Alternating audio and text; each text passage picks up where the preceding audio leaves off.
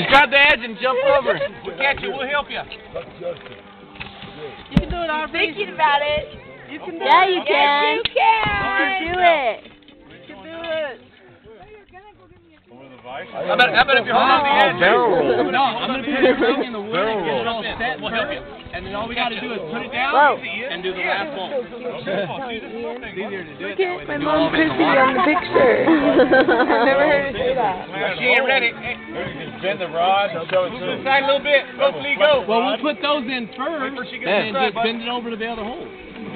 What? Stand like on the trampoline, Go, just go. thing right there, and I'll bounce over you.